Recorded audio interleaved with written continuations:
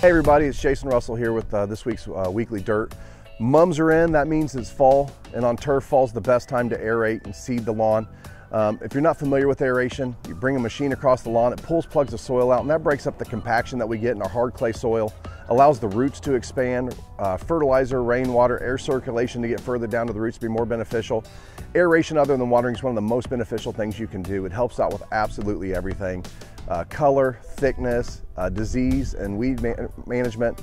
Um, it's again one of the best things you can do. Give us a call if you'd like more information. We're always here to help you out.